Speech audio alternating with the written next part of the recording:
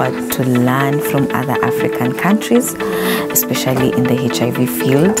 on what they're doing in combating and reducing HIV burden in Africa,